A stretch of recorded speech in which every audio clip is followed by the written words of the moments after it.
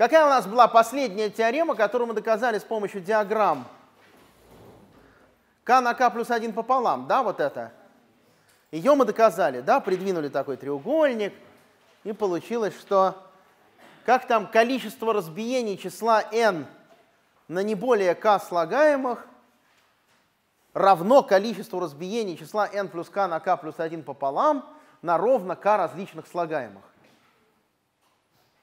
Было такое, да? Ну, давайте еще один пример теоремы с диаграммами. Тоже простой, но немножечко на другой идее основанный. Значит, я не помню, давал я им какие-то номера или нет. Были они там теорема 1, 2?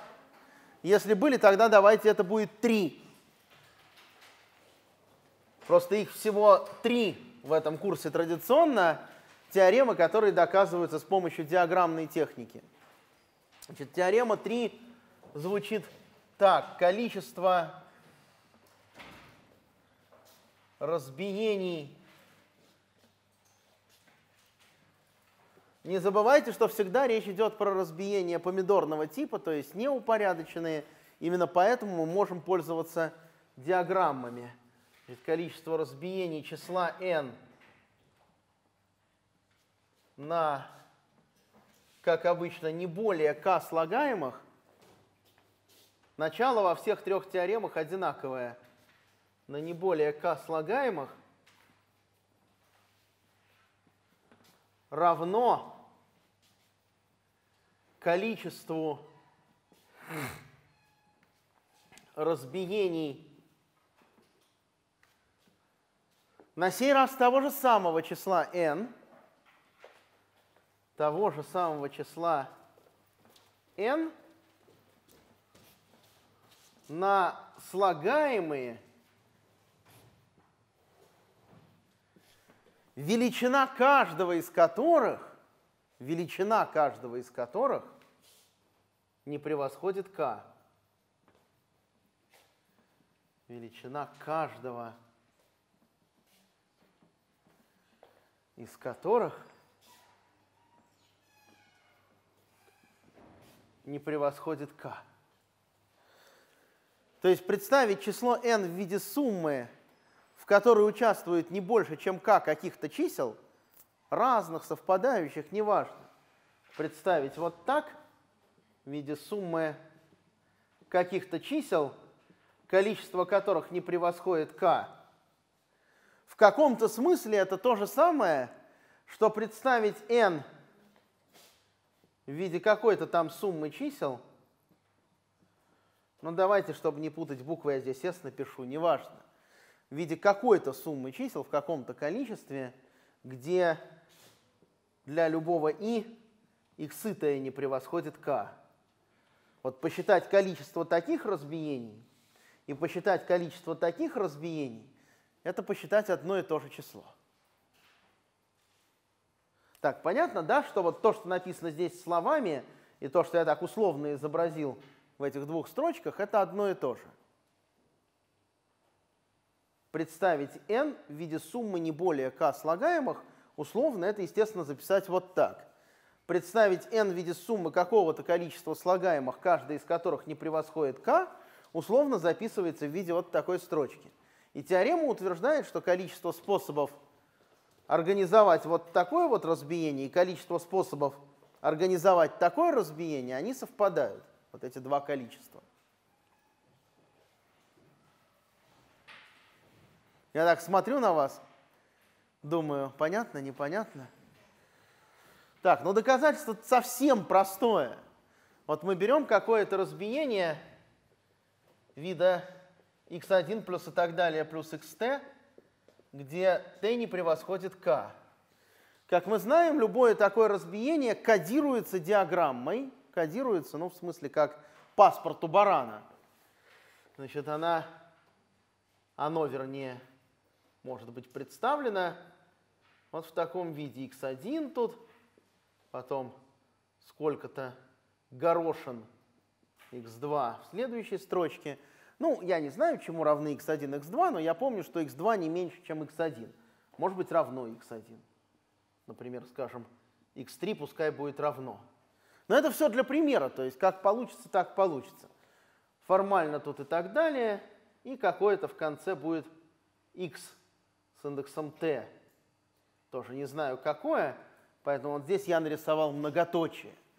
Вот. Но в любом случае наше разбиение кодируется такой диаграммой, и знаем мы следующее. Мы знаем, что высота этой диаграммы не превосходит k, потому что t не превосходит k. Но это стандартная вещь, мы в прошлый раз такие диаграммы рисовали. А теперь мы сделаем следующий финт. Если в прошлый раз мы что-то добавляли к диаграмме, то есть, например, слева добавляли столбик высоты k, или заливали слева в эту диаграмму треугольник со стороной k, да? Это было в прошлый раз. В этот раз мы сделаем другое совершенно преобразование, а именно мы повернем эту диаграмму, скажем так, на 90 градусов.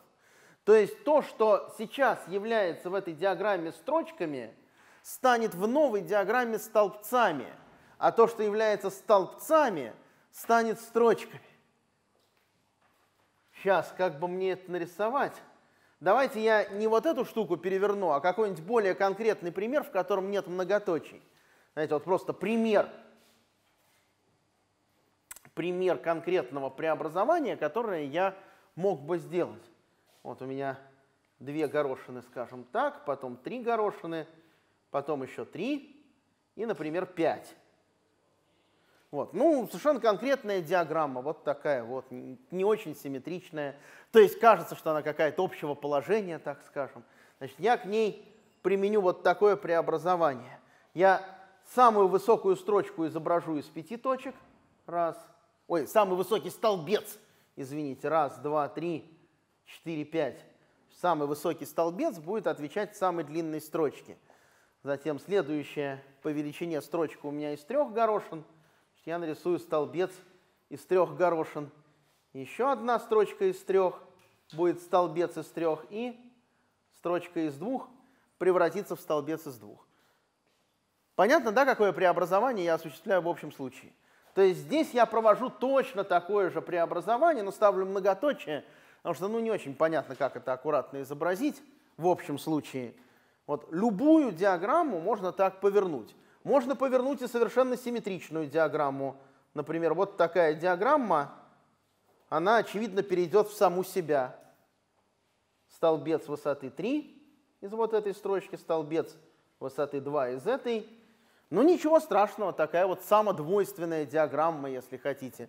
То есть она под действием этого преобразования никуда не переходит, а переходит просто в саму себя. Так тоже бывает.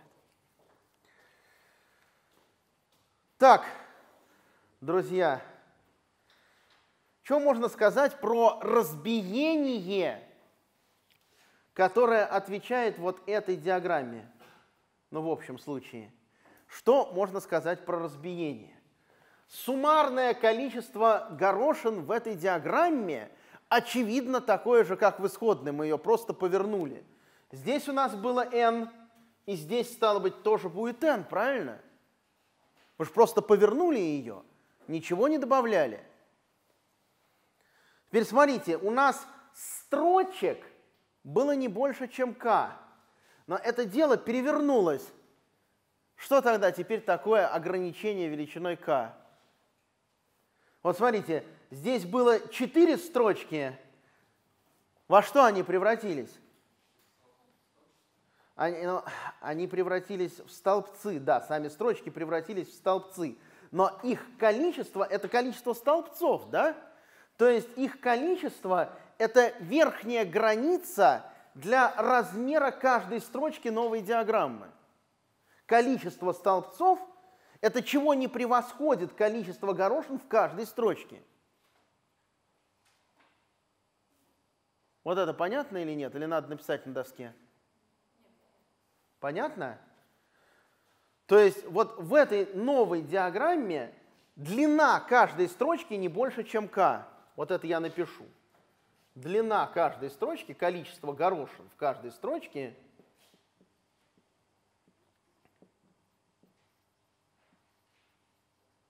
не больше, чем k.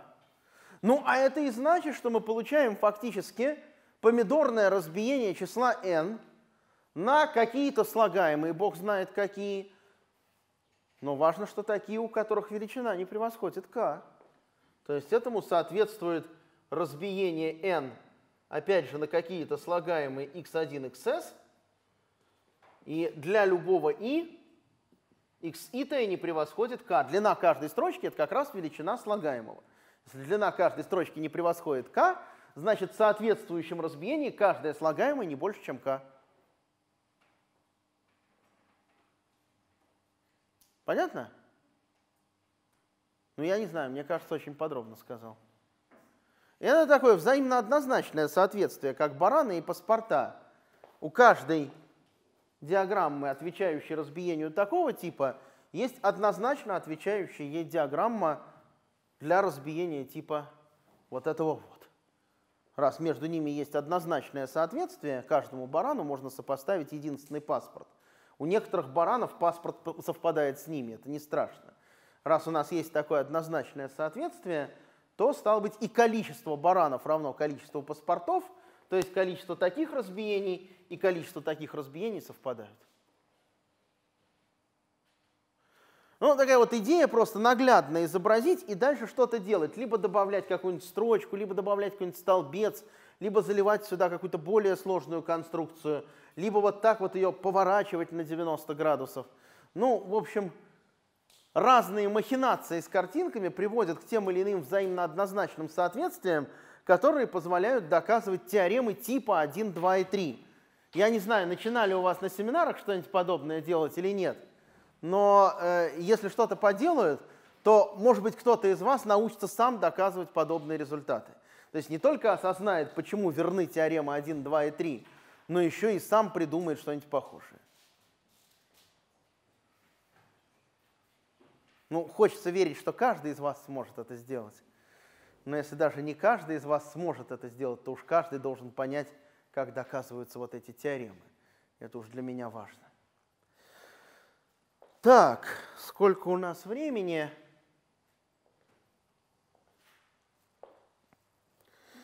Есть еще одна красивая тема про разбиение. Ну, давайте я, может быть, ее расскажу. Но вроде она не должна кокнуть. Если, если, я не знаю, я не уверен в этом, но если вас не кокнуло Мёбиусом и циклическими последовательностями, а я очень старался не кокнуть, хотя понятно, что на грани ходили все время уж как минимум. А может, все-таки кого-то и кокнуло. Но вот если вас все-таки не кокнуло, то то, что я сейчас расскажу, гораздо проще. И очень красиво. Э, тоже есть такая задача, которую решал Эйлер. И, ну, в общем, она забавно выглядит. Давайте я, наверное, попробую это рассказать. Мне кажется, что должно быть понятно. Я так, как обычно, медленно, вот, не торопясь. Я вообще хочу сегодня к кроликам перейти под конец. И, может быть, даже не совсем под конец. К числам Фибоначчи. Это кролики. Вот, но пока я буду рассказывать не про них все-таки. Значит, смотрите, готовьтесь к тому, что я нечто расскажу, но доказывать не стану, хотя, например, в книжке Веленкина желающие могут прочесть и доказательства, и оно дается тоже через диаграммную технику. При этом я в свое время умудрился это доказательство здесь, на лекциях, рассказать. Это было в первый год существования вашего факультета. Я еще как-то был очень, как бы сказать, шустер. То есть я решил, что все должно зайти. Вот. Но тогда это весной было, то есть не вы, но вот ваши предшественники, они уже были как бы прошедшие через определенную закалку. Вот. А сейчас вы еще такие вот, не прошедшие через закалку, поэтому я доказательства этого приводить не буду, а только расскажу, как, как что получается. Вот. Но а, желающие могут прочесть, и интересный комментарий состоит в том, что в Веленкине чуть-чуть некорректно доказано, если кто поймет, где там ошибочка небольшая, ну, легко устранимая, то вообще будет круто. Вот, значит, такая задача Эйлера, которую он решил. Сейчас я ее опишу.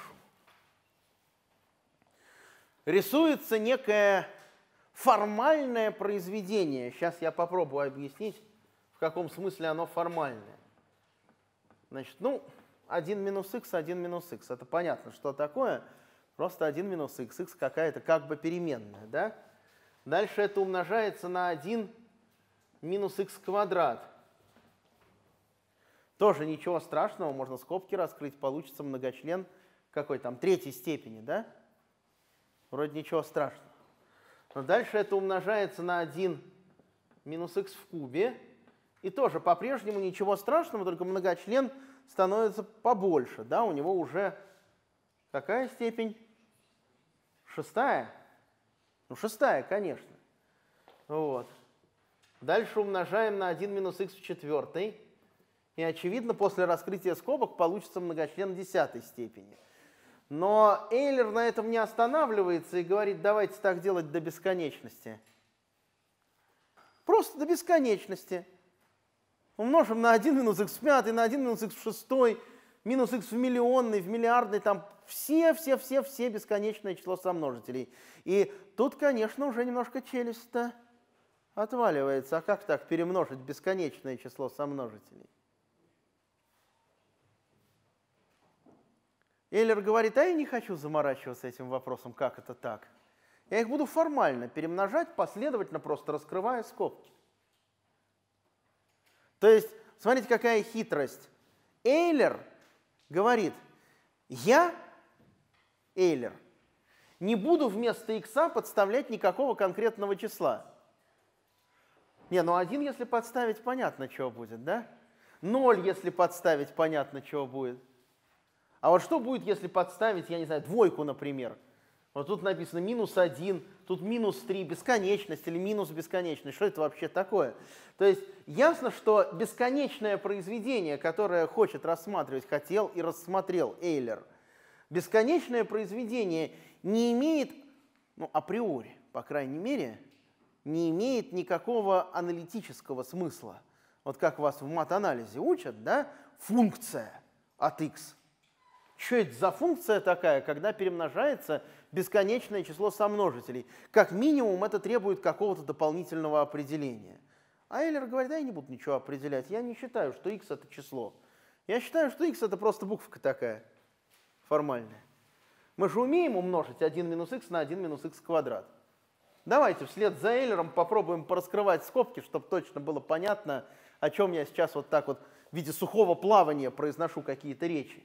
Вот сейчас будет не сухое плавание, сейчас мы прямо пораскрываем скобки. Ну, конечно, не всю бесконечность, понятное дело, но немножко пораскрываем. Вот 1 минус х на 1 минус х квадрат, чего получится? 1 минус х, да, минус х квадрат. Я буду упорядочивать по величине степени и прибавить х в кубе. Так, так, так.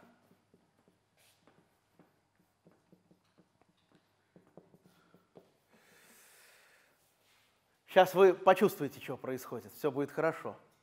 Вот давайте эту скобку теперь по стандартным правилам, не заморачиваясь тем, что такое x, просто как буковка, да, как в алгебре учат, умножим на первую скобку. Первую скобку на 1 минус x в кубе. Значит, у нас останется 1, это 1 на 1, да, минус x тоже останется, минус x квадрат тоже останется, они никак уже не могут измениться, потому что э, либо мы умножаем на единичку это выражение, либо мы сразу умножаем на x в кубе. Но когда мы умножаем на x в кубе, ну мы никак x или x квадрат или единичку не получим, понимаете? То есть вот это начальное выражение, оно так и останется в результате домножения на единицу, а x в кубе начнет влиять на какие-то более старшие степени. Значит, на что он будет влиять, как он тут у нас вылезет? Так. Смотрите, есть плюс x в кубе, да? Успеваете за мысли? Умножать-то все умеют, а? Многочлены все умеют умножать. Так, видите, что будет x в кубе? А тут минус x в кубе. Кажись, x в кубе кокнулся. Но не будет слагаемого в величины x в кубе. Так, это я все еще умножаю плюс x в четвертый, ну, придется писать, плюс x в четвертый, да? Плюс x в четвертый. Так, чего еще будет? x в, шест... x в пятый, да? Плюс x в пятый. Так. И минус x в шестой, да? Так, умножить на 1 минус x в четвертый. Давайте я, о ужас, добавлю 1 минус x в пятый, но я, наверное, не буду на него умножать. Надеюсь, что до этого не дойдет. Ну и так далее. То есть это бесконечное произведение, и мы еще разочек продолжим раскрывать скобки. Как минимум разочек, если этого разочка вам хватит. Так, ну чего, вот надо вот это вот умножить на 1 минус x в четвертой. Так, ну, наверное, вам трудно в уме. Давайте умножим на 1. Будет 1 минус x минус x в квадрате плюс x в четвертой, x в пятой, x в шестой. А теперь вычитаем результат умножения всего этого на x в четвертой. То есть вычитаем x в четвертой. Так, что дальше? Так, вот плюс x в пятый мне, честно говоря, совсем не по душе. У нас точно там был x в пятый? Перед x шестой минус? Сейчас, сейчас, где? А, я вот здесь вот описался, да? Ой-ой-ой. Следите, пожалуйста, да, я, конечно, описаться-то могу, я же наизусть не помню. Вот, я считаю просто 1 минус x минус x в квадрате плюс x в четвертой. Тут вот нигде не ошиблись. Плюс x в пятый минус x в шестой так, мне не нравится эта двойка появившаяся. Так, так, так, так, так, так. X в четвертой, значит, минус x в четвертой. У меня почему-то получается плюс x в пятый. Вот мне это не нравится. Честно говоря, вот совсем. Сейчас мы нигде не ошиблись. Так, давайте проверим. Вдруг я где-то ошибся. А? А? Вот x5 должно... Сейчас. И, и давайте пересчитаем. Значит, еще раз, вот сюда пойдем. 1 минус x. Так, 1 минус x, вот он. Минус x в квадрате плюс x в кубе. Здесь вроде бы все правильно. Дальше раскрываем скобки. 1 минус x минус x в квадрате плюс x в кубе минус x в кубе плюс x в четвертой плюс x в пятой минус x в шестой. Вроде бы пока не ошиблись. Так, на 1 минус x в четвертой будет 1 минус x минус x квадрат плюс x в четвертой плюс x в пятой минус x в шестой. Так, и на x в четвертой с минусом у нас получается минус x в четвертой. А почему я... Сейчас. Да что ж такое? Плюс x.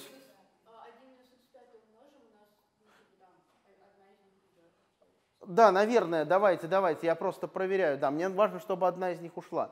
Хорошо, но, но мне главное не ошибиться. Давайте, да, вроде, вроде все нормально, вроде вы правы. Значит, дальше минус э, x в какой? Седьмой степени, да? Так, нет, почему в седьмой? Шестой, считать разучился, в шестой. Конечно, минус x в шестой.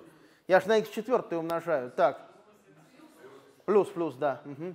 Так, минус, минус x в 8, да? Минус x в 8, минус x в 9 и плюс, не лезет, ну давайте сюда пойдем, плюс x в 10. Так, на 1 минус x в 5. Да, я ошибся, придется еще разок. Ну, мне хочется все-таки как-то продемонстрировать. Значит, x в четвертой сокращается. Так, x в шестой тоже сокращается. Что-нибудь еще сокращается?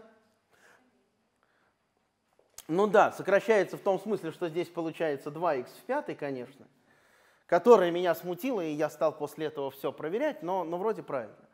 Вот, минус х в 8, минус х в 9, плюс х в 10. Но видите, да, что 1 минус x минус x в квадрате уже никуда не девается и не денется. Вот это начальное, как было, так и останется. Мы сейчас умножим на 1 минус x в пятой, и это выживет, потому что при умножении на x в пятой никогда в жизни не получатся такие маленькие степени. Значит, у нас получится 1 минус x минус x квадрат плюс 2x в пятой минус x в восьмой минус x в девятой плюс x в десятой. Это я на единичку просто умножил. И дальше будет минус x в пятой. Ой, ну тут много, конечно, слагаемых. Ну ладно, ничего. Плюс x в шестой, следите, я ошибаюсь, как видите, иногда. Плюс x в седьмой. Так, минус 2х в десятой. Минус 2х в десятой. Так, чего еще остается? Плюс x в тринадцатой. Плюс x в 14 и минус x в 15.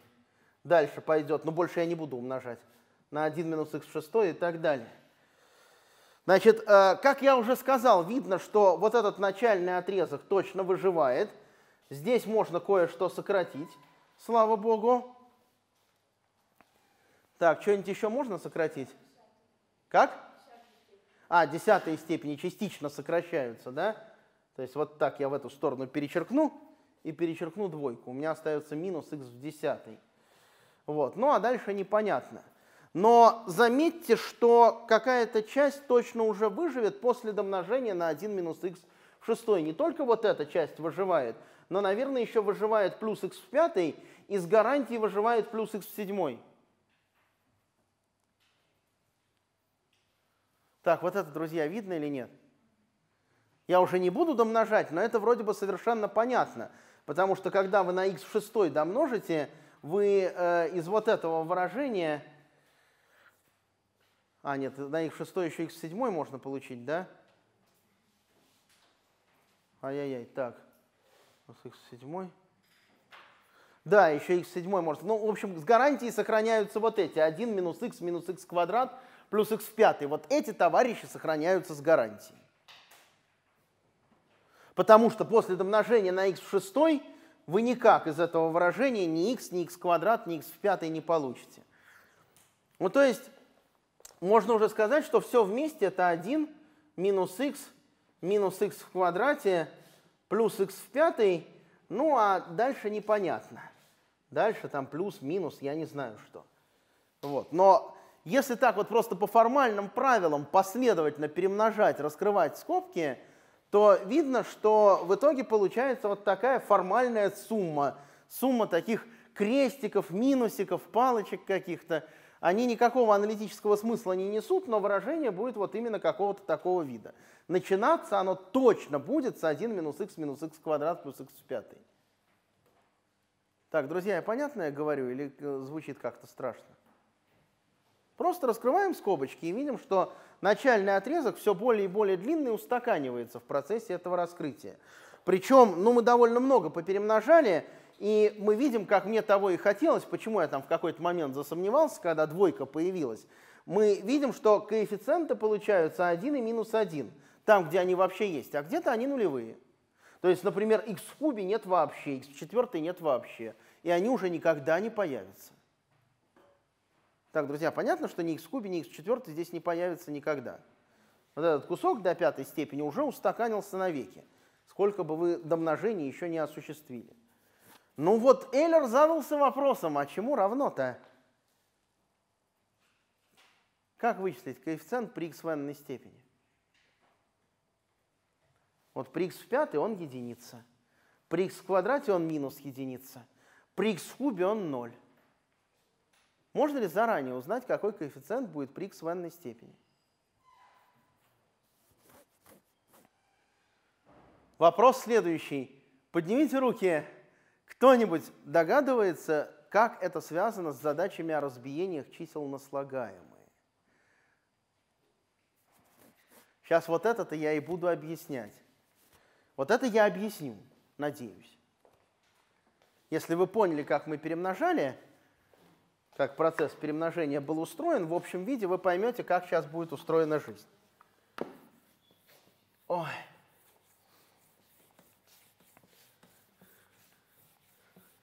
Сейчас все объясню. Вот смотрите, как мог или могло появиться ну не знаю, выражение.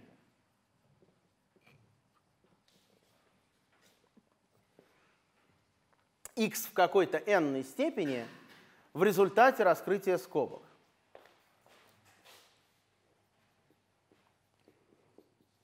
В результате раскрытия скобок. Это вопрос, на который я сейчас дам ответ сразу. Но давайте еще раз сюда вернемся Раскрываем скобки последовательно. Как может появиться x в n? Это значит, мы из какой-то скобки берем минус x в какой-то степени, из какой-то еще скобки берем минус x в какой-то степени. Вот это все перемножаем и получаем x в n.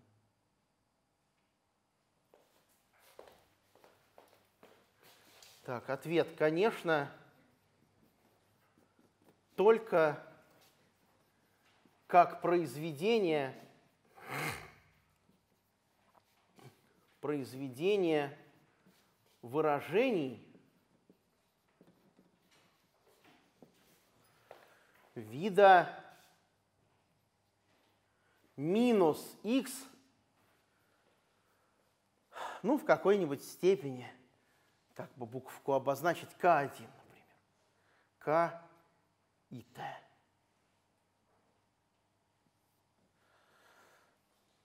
Ну, то есть, еще раз, из какой-то скобки взяли, условно говоря, минус х квадрат, из какой-то скобки, например, взяли минус х в 17 степени, из какой-то минус х в 23, из какой-то минус х в 24, перемножили это все, и получилось х в n степени с каким-то знаком, плюс или минус.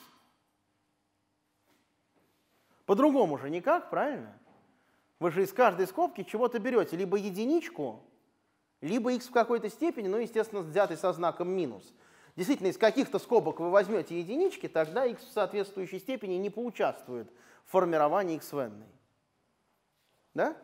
А вот из тех скобок, из которых вы возьмете минус x в какой-то степени, каитая, у вас как раз x в n сформируется в итоге. Сейчас понятно говорю, нет? Из части скобок вы берете единичку, а из части скобок минус x в каких-то степенях. И вот вы перемножаете эти единички и минус x в соответствующих степенях. И у вас получается x в n. То есть у вас получается вот так. Минус 1. Давайте, сейчас не так напишем. У вас получается, что x в n, там плюс-минус, собирается как минус х в степени k1 умножить на минус х в степени k2 и так далее на минус х в какой-то степени. Но я не знаю, сколько вы их там перемножите. Давайте, как водится, обозначим номер последнего сомножителя буковкой t на минус х в степени kt. То есть вы брали какие-то t скобок, из первой скобки вытащили минус х в степени k1, из второй взятой скобки вытащили соответствующее минус х в степени k2, ну и из последней взятой скобки она имеет какой-то номер t, вытащили минус х в степени kt. И вот когда это дело перемножили, получили с каким-то плюс или минус знаком x в степени n. То есть плюс-минус, вот этот плюс-минус, который стоит перед x в степени n, это на самом деле минус единица в степени t. У нас тут t сомножителей, и каждый со знаком минус. В зависимости от четности количества этих сомножителей получится либо плюс, если t четное, либо минус, если t нечетное. То есть плюс-минус это минус 1 в степени t,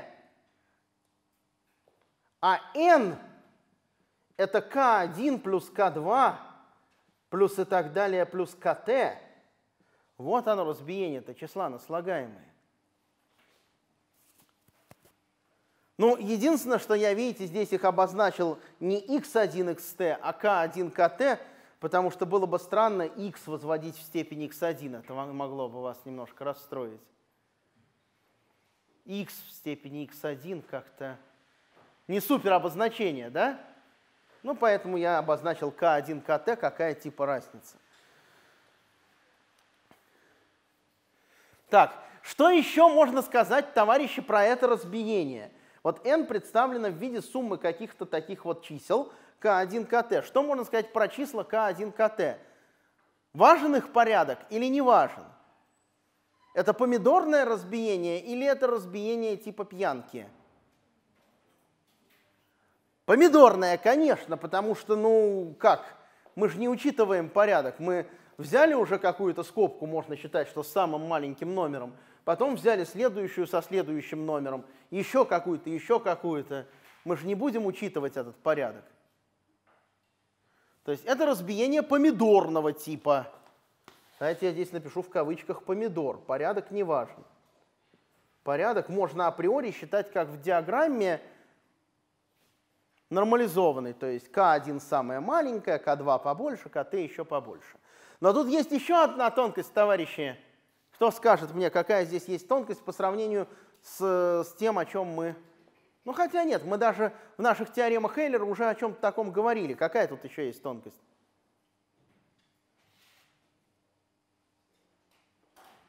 Все эти слагаемые различные.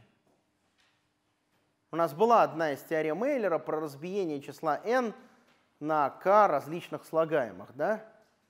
Вот здесь речь идет о том, чтобы разбить число n на различные слагаемые, потому что степени в разных скобках разные. Мы из каждой скобки берем свою уникальную степень. Скажем, 2 плюс 5 плюс 10 плюс 20. Или 3 плюс 7 плюс 11 плюс 20. Там, что хотите. Лишь бы в сумме получилось n. Но вот эти все числа различные – все каиты различные.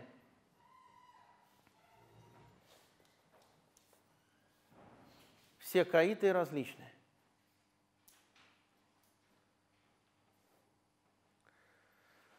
И вот смотрите, мы раскрываем скобки.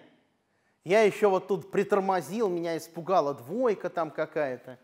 Вот мы раскрываем скобки. Как формируется коэффициент? Коэффициент при какой-то степени x, при x в n степени. Не, ну вы мне скажете, это плюс или минус, да? Но это для каждого конкретного разбиения будет плюс или минус. А общий коэффициент – это сумма вот этих плюсов и минусов по всем возможным разбиениям. Мы же приводим подобные слагаемые. Для одного разбиения числа n на k1 kt получится один знак при x в степени n после раскрытия скобок. Для другого разбиения получится, возможно, другой знак. И вот мы должны эти плюсики и минусики сложить. Понимаете, да? Ну вот, сейчас я вам напишу, что получится. Сейчас я обозначение введу обозначения введем такие. Вот пусть дано натуральное число n, то самое, которое отвечает степени x, при котором мы хотим посчитать коэффициент. Давайте для этого числа введем вот такое n-чет и n-неч. Ну или нечет, если хотите. Ну, для равенства количеств букв в индексе n-чет и n-неч. n-чет по определению это количество помидорных разбиений числа n, числа n, n латинское, числа n на четное число различных слагаемых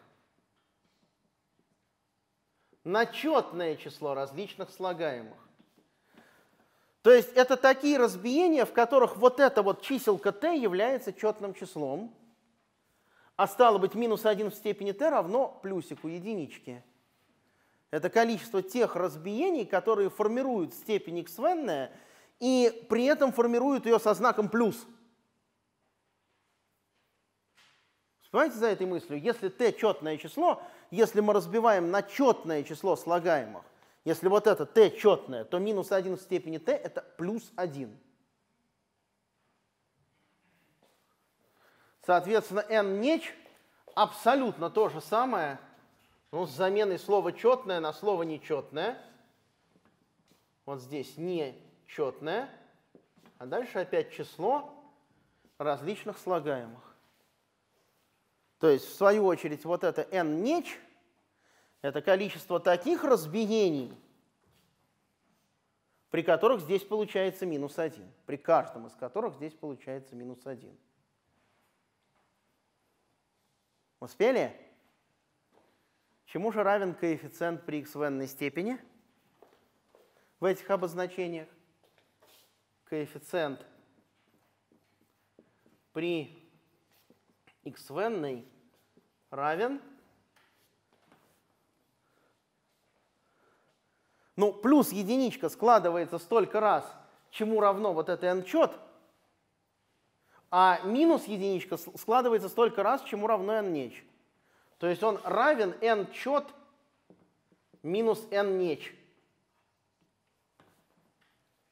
Мы x в n складываем вот столько раз и вычитаем вот столько раз. Для каждого способа представить n в виде суммы четного числа различных помидорных слагаемых, мы получаем добавку плюс x в n для каждого способа представить n в виде суммы нечетного числа различных помидорных слагаемых, мы получаем, наоборот, не добавку, а вычитание. И вот столько раз вычитаем x в n степени. Вот в терминах задач о разбиениях получается такая разность. Если бы, внимание, товарищи, если бы в этом месте Эллер доказал теорему типа 4, то есть доказал бы, что n чет всегда равно n неч, тогда получилось бы, что у нас этот ряд из одних нулей, сумма вот эта. Но мы с вами знаем, что она не из одних нулей. Я вот стер, но мы помним, что она точно начинается вот с такого. А дальше мы еще пока не знали, дальше там что-то. Помните, да, что она начинается с такого. То есть n чет точно не всегда равно n неч. Иногда оно равно плюс единицы, а иногда оно равно минус единицы. А там черт его знает, может оно еще и подрастет. Мы же не можем заранее гарантировать, что все вот так вот легко. Но Эллер доказал, что все легко. И теорема, которую он доказал, и которую мы не будем доказывать, но, повторяю, она есть в Виленкине с небольшой ошибкой, то есть можно разобраться и даже найти небольшую ошибку в доказательстве. Это у нас в курсе пойдет без доказательства, но желающие могут разобраться. B дробь D это без доказательства, то есть я не потребую с вас знания, но если захотите, можете посмотреть. Значит, утверждение такое, пусть n, вот то число, которое отвечает за степень, при которой мы ищем коэффициент, пусть n не равно 3k квадрат плюс минус k пополам ни при каком натуральном k все прокомментирую. Ни при каком натуральном k. Тогда коэффициент... А, коэффициент, зачем коэффициент? Вот так напишем. Тогда, неправильно. Тогда n чет минус n неч равняется нулю. То есть коэффициент при x в n равен нулю, а количество разбиений на четное число слагаемых просто равно количеству разбиений на нечетное число слагаемых. Если же n равняется 3k квадрат плюс-минус k пополам, то n чет минус n неч не равно нулю, а равно минус 1 в степени k. То есть действительно всегда будут получаться нули плюс и минус единицы. Количество способов представить n в виде четного числа различных помидорных слагаемых всегда отличается от количества, соответственно, представить в виде нечетного числа не больше, чем на единицу. То есть либо они равны, либо на единичку больше n чет, либо на единичку больше n неч. Ну и, соответственно, коэффициенты получаются нолики и плюс-минус единицы. Давайте я вот здесь вот просто покажу вам. Вот если k равняется нулю, смотрите, если k равняется нулю, то здесь получается 3k квадрат плюс-минус k пополам равно нулю.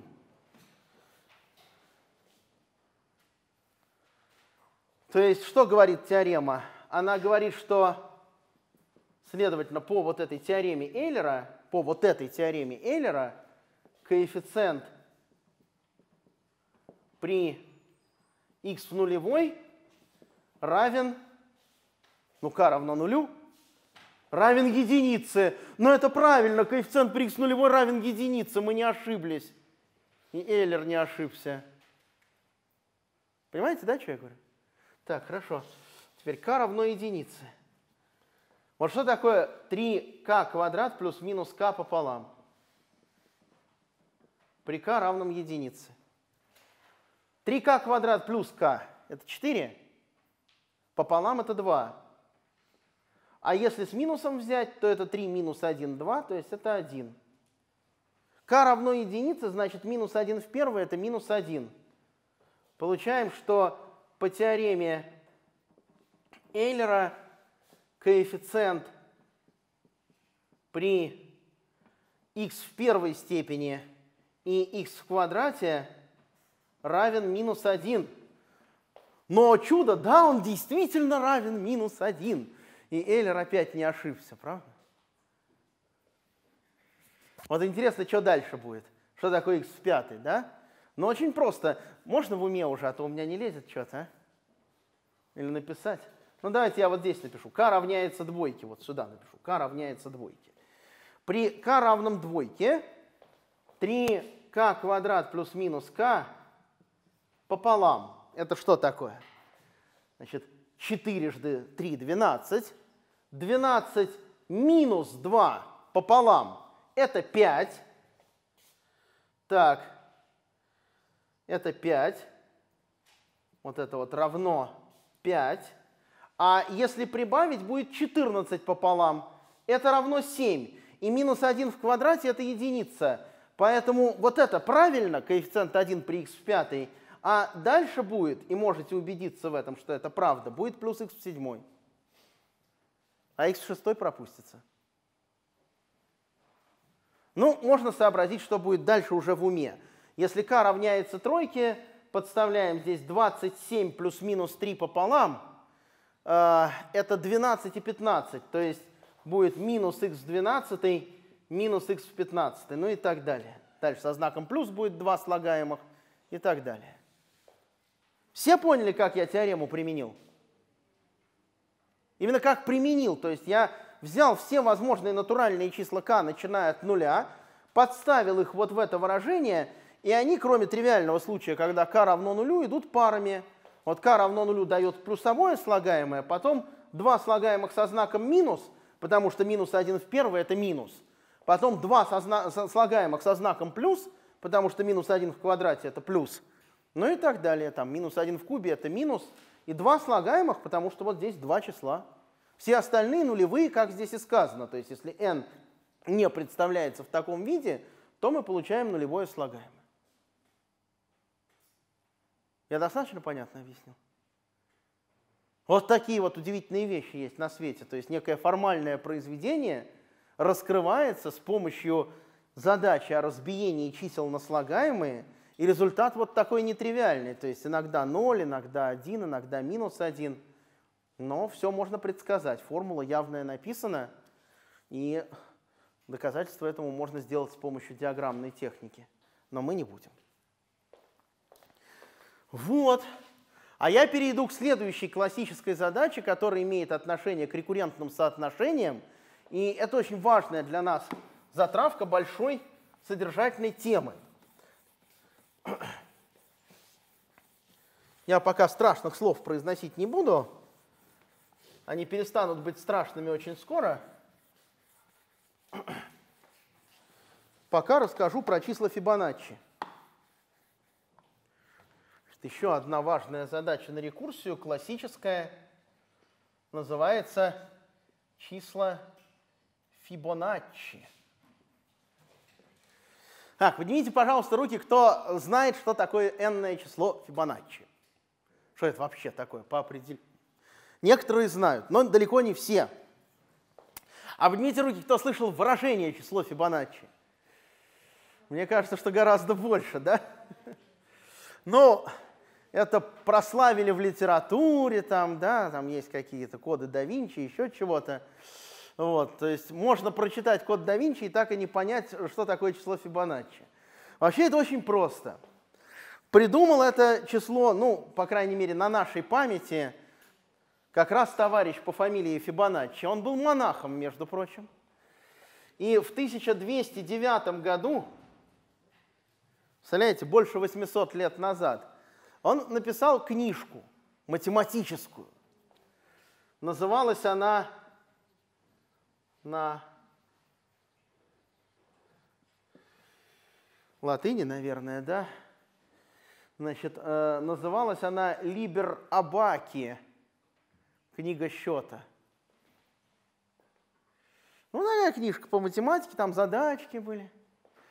Вот. Но я очень люблю рассказывать биоинформатикам, как э, монах в 1209 году представлял себе процесс размножения кроликов – Значит, ну, это, конечно, издевательство над самым, на самом деле и над монахом, и над числами Фибоначчи. Он, он, наверное, не имел в виду такой интерпретации, но она получается такой. Сейчас я вам расскажу. Значит, как ставилась задачка? Значит, задачка ставилась так. В начале всех времен есть пара кроликов.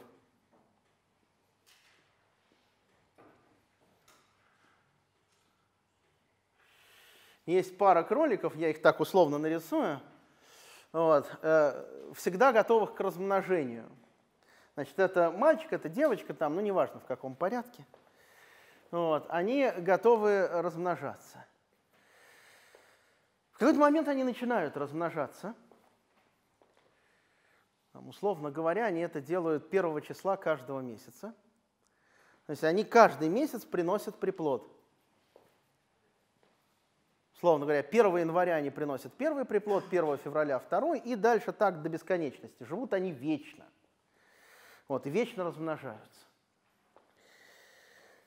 Когда очередная... Да, размножаются. Как они размножаются?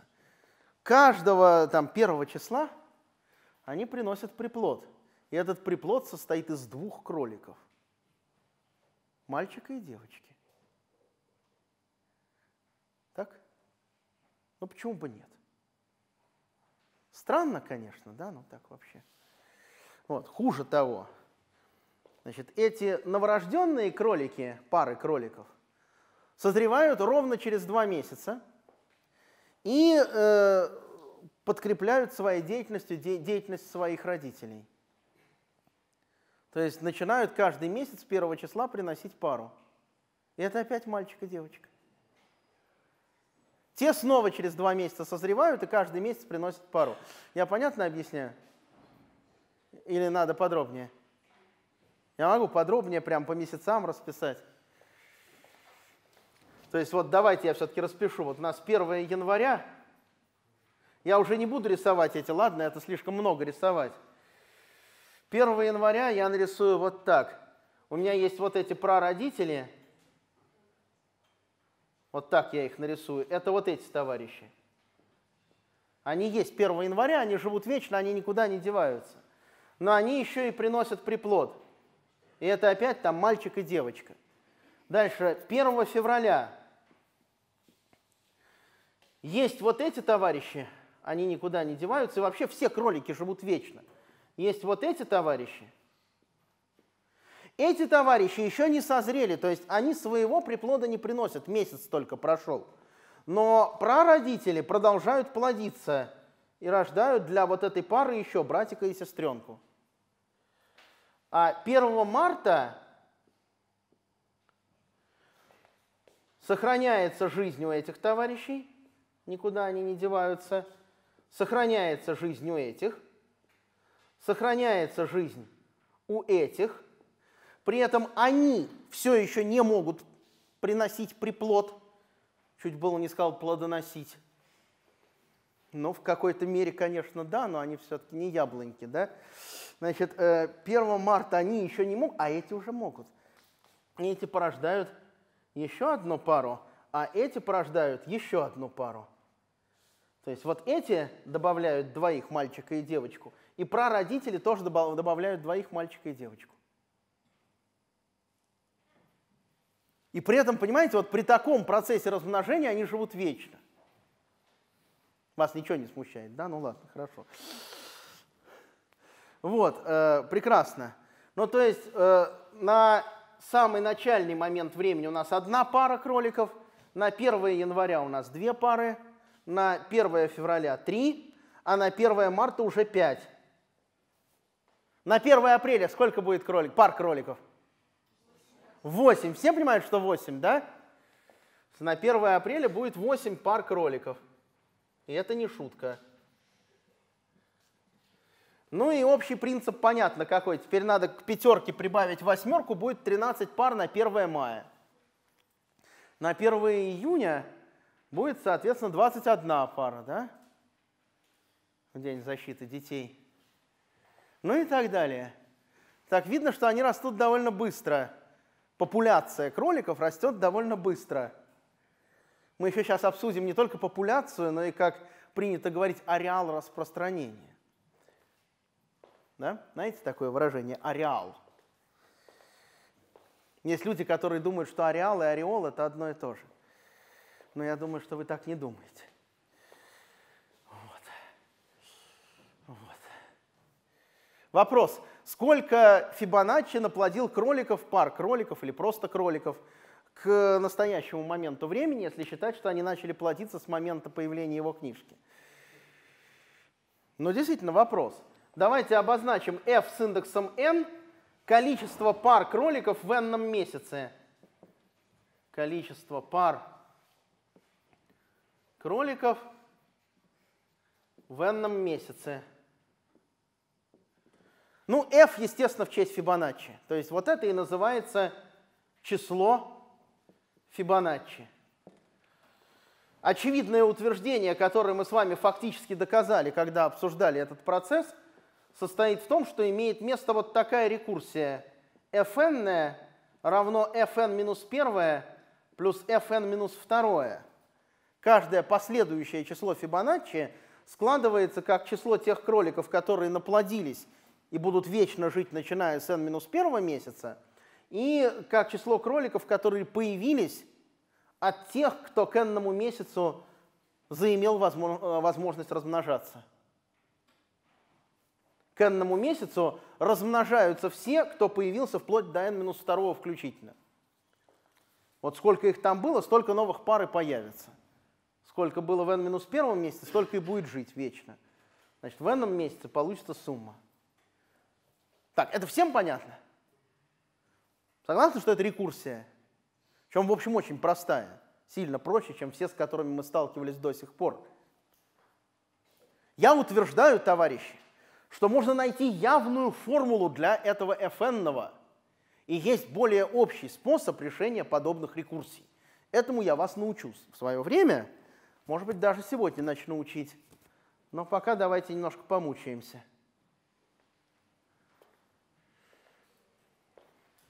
Сходу же непонятно, да, ну вообще непонятно, какая формула, как угадать формулу в зависимости от n – если мы знаем только вот такое рекуррентное соотношение. Как угадать, вообще непонятно.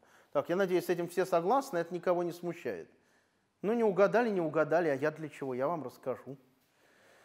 Вот, но давайте просто оценим, насколько все плохо. Я бы сказал, насколько все плохо для кроликов.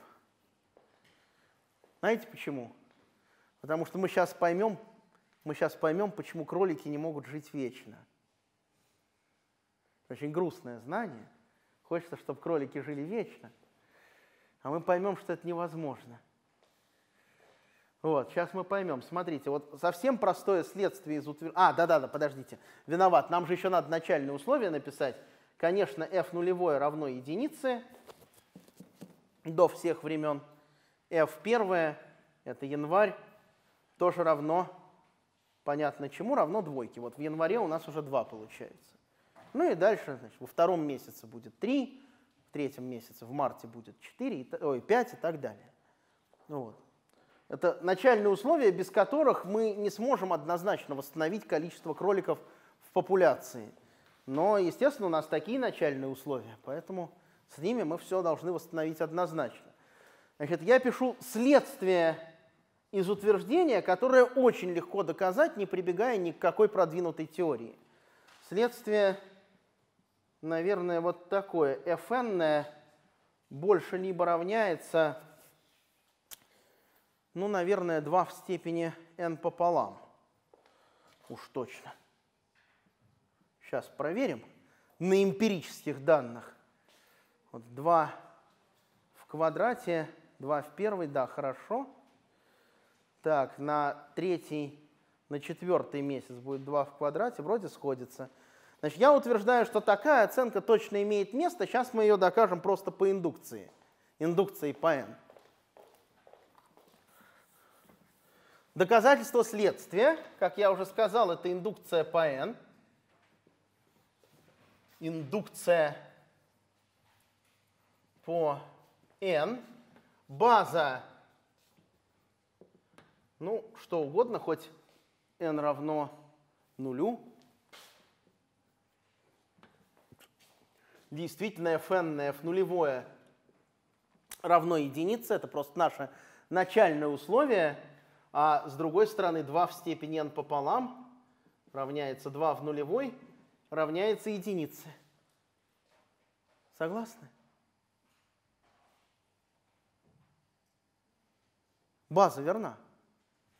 Ну, давайте, как вводится, сделаем предположение индукции, то есть предположим, что для всех k меньше либо равных n доказали неравенство fkt не меньше, чем 2 в степени k пополам, докажем, что то же самое верно и для k равного n плюс 1. докажем, что fn плюс 1 тоже не меньше 2 в n плюс 1 пополам. 2 в степени n плюс 1 пополам. Так, вы согласны, что это будет шагом индукции? Я понятно прописал шаг индукции? Ну, действительно, действительно, что мы знаем про fn плюс 1? Мы, конечно же, знаем, что fn плюс 1 подчиняется той же рекурсии. То есть оно равно fn сколько кроликов наплодилось к n месяцу, плюс fn минус 1, сколько кроликов еще и приплод принесло. fn минус 1. Так, с этим все согласны, что рекурсия запишется так. По предположению индукции, вот здесь, по предположению индукции, каждая fkt, где k хоть такое, хоть такое, хоть какое хотите – каждая fkt, где k не превосходит n, оценивается как 2 в степени k пополам. То есть здесь будет 2 в степени n пополам плюс 2 в степени n минус 1 пополам. А? И что, у меня сейчас не получится, думаете? Я вот что-то сам засомневался, что у меня получится. Так. А, не, получится. Все очень просто. Смотрите, с этим согласны? А теперь смотрите, вот это первое слагаемое, ну оно очевидно больше, чем второе. Даже больше строго. То есть это тупо больше, чем 2 в степени n минус 1 пополам. Грубая оценка 2 в степени n минус 1 пополам. Я не пытаюсь аккуратно сложить, я вот делаю на тяп-ляп. Тяп-ляп. То есть это равно 2 умножить на 2 в степени n минус 1 пополам. Это равно 2 в степени n минус 1 пополам плюс 1, как перемножаются степени двоек, да? А когда вы единичку прибавляете к этой дроби, ой, оно получилось. То есть это следствие, оно почти тривиальное. Оно, конечно, с запасом. Ясно, что кроликов-то побольше. Видно, что я сильно огрубил. Сколько их на самом деле, мы пока не понимаем. Но это затравка, которая добавляет интересности задачи. Сейчас я вам объясню все-таки, почему кролики не могут жить вечно. Это э, такой трагикомичный момент. Трагедия состоит в том, что бедные звери не могут жить вечно, а комедия состоит в подсчете. Ну, подсчет чего? Вот у нас 1209 год, а сейчас 2019, то есть прошло 810 лет. За 18 лет чтения мною этих лекций, представляете, как поменялись числа? 810, а когда-то я говорил 792, там что-нибудь такое. Вот, ну хорошо, 810 лет. Это сколько месяцев? Ну, надо на 12 примерно умножить, мы в месяцах-то так не будем мелочиться, ладно? Давайте просто на 12 умножим, это 9600 плюс 120, да? То есть 9720 на самом деле 20 тоже не так существенно, хоть 9 тысяч, хоть 10 тысяч, все запредельно. Ну, ну пусть 9720, чтобы вам приятнее было просто, что я честно посчитал, да? Вот прошло 9720 месяцев. То есть n равно 9720, вот это n. Вот это n наше. Утверждается, что количество пар кроликов не утверждается, а мы это только что доказали, у нас следствие, да? Утверждается, что это не меньше, чем 2 в степени 9720 пополам. Это равняется 2 в степени 4860, правильно? Следите за мной, я иногда ошибаюсь. Я люблю считать, но иногда ошибаюсь. 2 в степени 4860. На самом деле все эти наши старания сохранять какие-то 60 и прочее, они не сильно существенные. Давайте я это представлю как 10 в какой-нибудь степени – как перейти от одного основания экспонента к другому? Логарифмы знаете, да? В школе учили. То есть надо 4860 умножить на десятичный логарифм двойки. Ну, вот в этом месте я уж не буду, у меня калькулятора-то в голове нету. Я знаю, что десятичный логарифм двойки это примерно 0,69. Но понимаете, я не в состоянии 69 сотых в уме умножить на 4860. Если вы это сделаете на калькуляторе, ну хорошо, давайте это проделаем. То есть 10 в степени 4 860, ну примерно на 0,69. Вы можете честно посчитать, если у вас умный калькулятор, чему равняется десятичный логарифм двойки. Там он более точно считается, 0,69, что-то такое, 299. Ну, я не знаю, но можно 5000 умножить на 0,7, например. Или, или будете считать на калькуляторе? Есть у кого-нибудь? Нету? Поблизости. Так, ну если 5000 умножить на 0,7, то это 3500, да? Но. Ах, натуральный, да-да-да, извините, натуральный 0,69, правильно. Десятичный это чему равен? 0,3 десятых, да, причем я вот собрался на 0,3 умножать, ну, понятно, да, 0,3 десятых, хорошо. Извините, пожалуйста, действительно натуральный 0,69. Это я что-то зарапортовался. Примерно 0,3 десятых. Ну, это попроще, конечно, но все равно, ну, 150 где-то, да, там чуть меньше.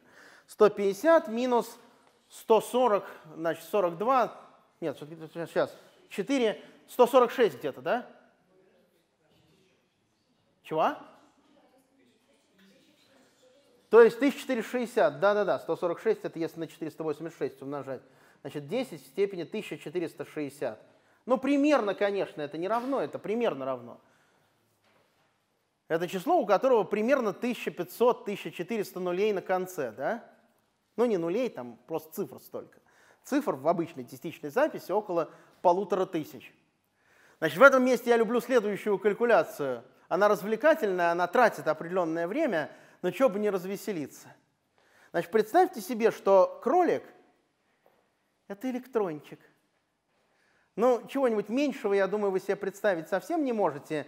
Электрон-то себе представить нельзя, потому что это непонятно, что такое. То ли это частица, то ли это волна, там это какая-то странная физическая штуковина, которую мы увидеть в принципе не в состоянии. Это некий математический объект, который существует, потому что мы доказали его существование. Но увидеть мы его не можем. Это самое маленькое, что можно ну, хоть как-то себе представлять. Вот пусть кролик – это электрончик, такой шарик маленький, крохотный шарик. Как я стал тихо очень, наверное, говорить, крохотный шарик такой, пушистый. Значит, э, Может быть, кто-нибудь знает, что э, в физике есть такое понятие, как классический радиус электрона. Ну, давайте считать, что так и есть. То есть там 10 в минус 13 степени сантиметра, именно сантиметра. 10 в минус 13 степени – это радиус кролика. Радиус кролика. Так, так, так. А чему равен объем кролика в, кубических сантиметрах, стало быть? Ну, понимаете, мы не будем там пи какое-то вводить, ну, примерно 10 в минус там, 70, да? Ой, да что я пишу? 40 конечно, 13, а не 23. 40 откуда 70 -й? 40 10 минус 40, ну в куб я возвожу, да? Объем это примерно куб от линейного размера. Значит, примерно 10 в минус 40 степени это объем одного кролика кубических сантиметров. А теперь давайте сравним, товарищи, с объемом видимой Вселенной. Что такое объем видимой Вселенной? Ну давайте так, я буду совсем по-дурацки. Вселенная существует примерно 10 в 10 степени лет. Ну так, примерно, совсем примерно. За год свет проходит какое расстояние?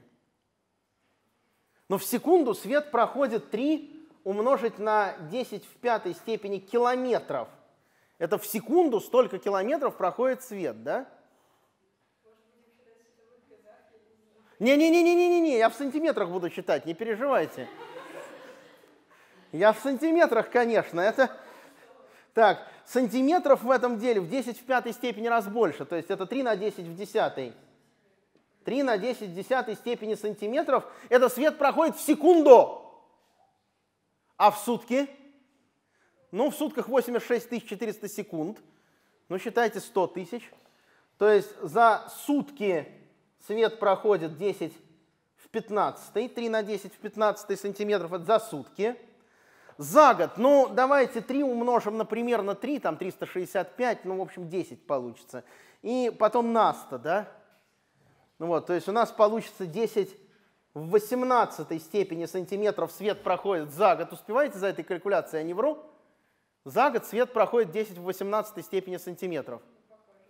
Похоже, да?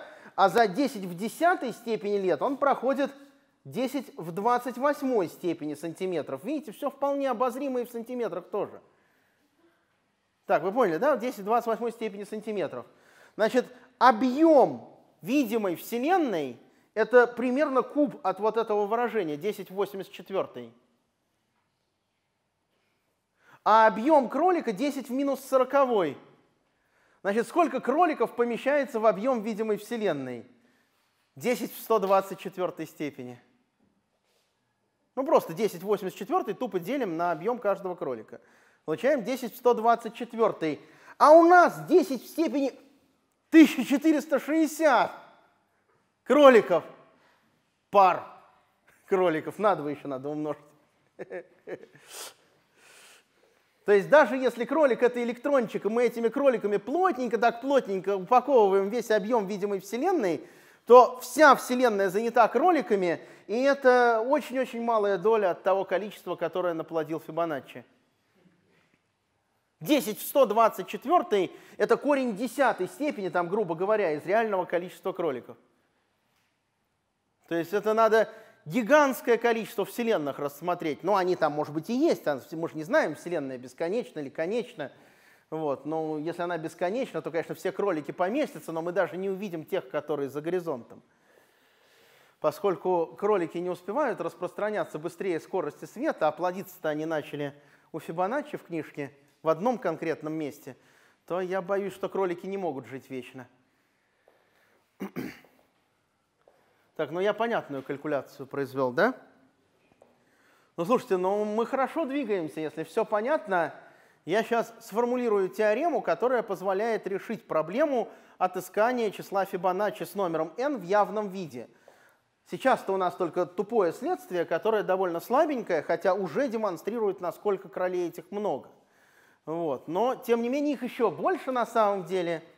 И правильный ответ дает следующий общий метод. Давайте я сразу расскажу общую теорему, то есть я расскажу общую постановку задачи, в которую укладывается и числа Фибоначчи тоже.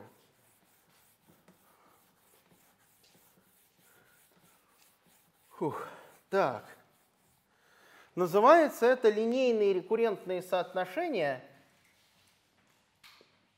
которым относятся и числа Фибоначчи. Линейные рекуррентные соотношения с постоянными коэффициентами.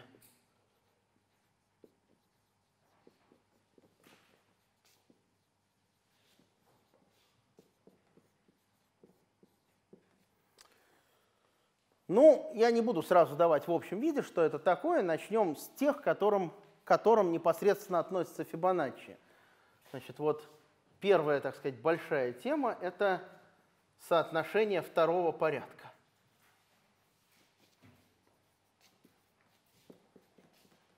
Линейные рекуррентные соотношения с постоянными коэффициентами второго порядка. Вот Фибоначчи – это соотношение второго порядка. Сейчас я скажу, что имеется в виду. Значит, имеется в виду следующее. Последовательность чисел, это я определение даю, прямо точное, аккуратное определение. Последовательность чисел y0, y1, yn, здесь многоточие и так далее. Бесконечная последовательность чисел y0, y1, y2, yn и так далее удовлетворяет по определению удовлетворяет линейному рекуррентному соотношению второго порядка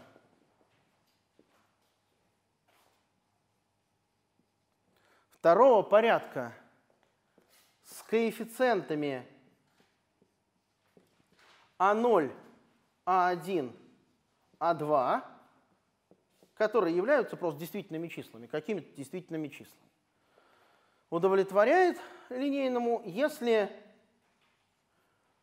для любого n,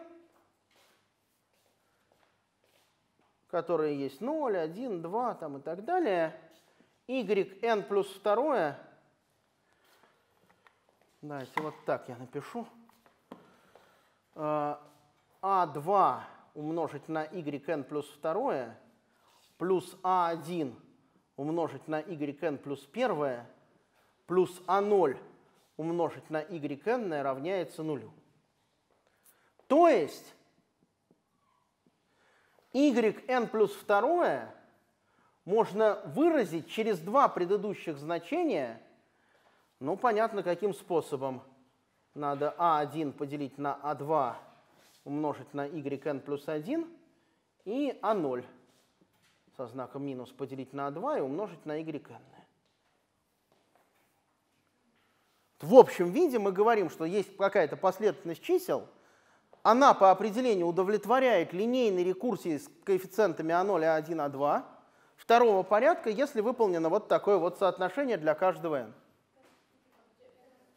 Что не так? А, вот здесь yn плюс второе, да? Описался, извините, пожалуйста, да, конечно, yn плюс второе, это описка. Мы выражаем n плюс второй член последовательности через два предыдущих. Значит, давайте я напишу, конечно, предполагается, что А2 не равняется нулю, иначе просто глупость какая-то, но мы же не будем выражать yn плюс второе, если коэффициент при нем равен нулю. И на самом деле еще предполагается, что А0 не равняется нулю. Потому что если бы А0 равнялось нулю, то фактически мы выражали бы n плюс 2 через n плюс 1. А я хочу через два предыдущих. При этом А1 нулю может равняться. Вот это очень важный момент. Отметьте его себе. А1, конечно, может равняться нулю. Все равно это будет означать, что n плюс 2 мы выразили через n в том числе, то есть как бы через два предыдущих, даже если самое непосредственное предыдущее не задействовано. Вот, то есть а1 может равняться нулю, но а2, а0 не равны. Ну, в частности, f n плюс второе минус fn плюс первое минус fn равняется нулю, это то соотношение, которому удовлетворяют числа Фибоначчи. Для чисел Фибоначчи а2 равно единице, а1 равно минус 1 и а0 равно минус 1. Вот это вот соотношение для чисел Фибоначчи, оно является тоже линейным рекуррентным второго порядка. Так, э, поясняю, почему линейная. Наверное, не всем понятно, но у вас какая-то линейная алгебра есть? Ну, уравнение прямой как задается, вы знаете? Но вот это очень похоже на уравнение прямой или плоскости. Поэтому это называется линейное. Тут линейное соотношение. Мы никого в квадрат не возводим, ни от кого синус не берем, косинус. Это я просто говорю, чтобы вас не смущало. Это линейное выражение от элементов нашей последовательности. Поэтому соотношение называется линейным рекуррентным. Коэффициенты постоянные, видите, это конкретные числа – Теоретически бывают соотношения, в которых коэффициенты сами зависят от n. Но мы таких не рассматриваем. Коэффициенты – это фиксированные числа, поэтому мы говорим, что они с постоянными коэффициентами. Так, друзья, очень важный момент содержательный. Вот я только что показал, что числа Фибоначчи, да, удовлетворяют, в смысле этого определения, линейному рекуррентному соотношению второго порядка. Показал, да, это видно. Очень видно. Очевидно? Но согласитесь, что если не написать начальных условий, а написать только вот это, не написать начальных условий, а написать только линейное соотношение, то это не обязательно числа Фибоначчи. Числа Фибоначчи начинаются с единицы и двойки. А если мы определим f0 как 10 а f1, например, как π, π 3, 14, 15, то получится совершенно другая последовательность чисел, удовлетворяющая той же самой рекурсии. Вот это понятно? Одной и той же рекурсии может удовлетворять целое великое множество последовательностей. И только тогда мы из этого множества фиксируем ровно одну, когда заданы начальные условия – вот если здесь в общем виде мы знаем, что такое y0, y1, если нам даны вот эти вот начальные условия, если нам даны начальные условия, с чего все стартует весь процесс, то дальше, пользуясь вот этим рекуррентным соотношением, мы однозначно восстановим и y2, выразив его как вот здесь y1, здесь y0, и y3, подставив его вот сюда, вот y2, y1, и так далее. То есть мы всю последовательность вытянем. Если мы не знаем начальных условий, то этой рекурсии удовлетворяет целое множество последовательностей. Так, товарищи, я страшно сказал? Что такое ощущение, что страшно? Написать на доске? Ну, я вроде понятно сказал. Числа Фибоначчи заданы не только этой рекурсией, но и начальными условиями f0 равно единице, f1 равняется двойке. Без этих начальных условий мы бы даже следствие наше не доказали, потому что они сработали в базе индукции. Нам обязательно нужны начальные условия для того, чтобы однозначно восстановить последовательность из ее рекуррентного соотношения.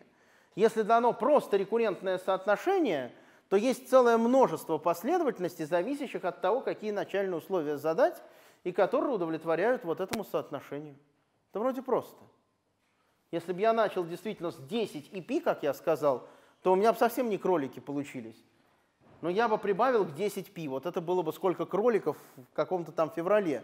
Смотрите, 10 плюс пи кроликов. Это что? То есть важно очень, какое начальное условие. Вот это надо четко понимать.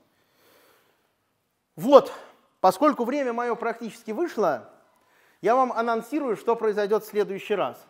В следующий раз я докажу вам, напишу и докажу две теоремы, которые позволяют найти явную формулу для yn, коль скоро заданы начальные условия.